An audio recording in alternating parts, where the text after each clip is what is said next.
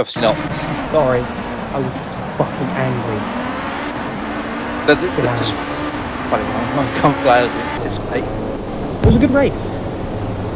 Uh, yeah, Rusty, I was looking forward to. Well, I wasn't. Uh, I was looking forward to racing you really, but uh, I, was, I I, wasn't going to risk it. No, I, I, if you go say if you get in the end, if you get in the end, but whilst during qualifying when no one was leaving or joining, it just Yeah, I I had agree. like, gotta at least three or I'm, four cars I'm black permanently everywhere. cursed to never win a race in UKCD.